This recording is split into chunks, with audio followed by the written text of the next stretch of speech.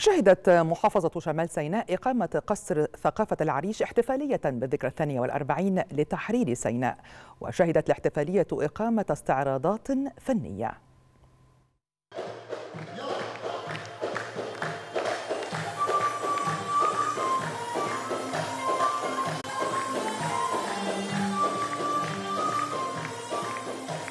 استمرارا لاحتفال محافظة شمال سيناء بالذكرى الثانية والأربعين لتحرير سيناء أقيمت احتفالية فنية بقصر ثقافة العريش والتي نظمتها الهيئة العامة لقصور الثقافة وسط أجواء مبهجة تفاعل معها الحضور وتتزامن الاحتفالية مع الأنشطة الثقافية التي عادت لهذا المكان بعد افتتاحه الذي يؤكد عودة الأمن والسلام لأرض سيناء الحبيبة الاحتفالية تضمنت فقرة غنائية بمشاركة فرقة بورسعيد للموسيقى العربية بالإضافة لفرقة العريش للفنون الشعبية التي قدمت خلالها مجموعة من الاستعراضات المستوحاة للتراث السيناوي وسط اعتزاز كبير بهذه الذكرى الغالية على المصريين. نظمت وزارة الثقافة عدة فعاليات تحت رعاية الدكتورة نيفين الكيلاني من أهمها الاحتفالية في العريش محافظة العريش محافظة طبعا على أرض الأرض سيناء أعز أعز أرض للشعب المصري. أعياد تحرير سيناء هي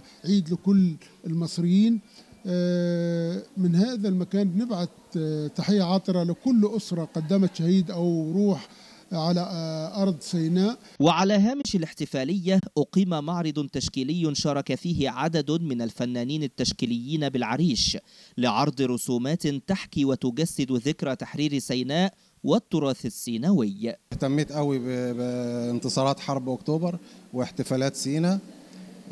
هتلاقي في لوحاتي في لوحة للعبور في لوحة كمان لاقتلاع جذور الإرهاب وكلنا عارفين دور مصر في اقتلاع جذور الإرهاب.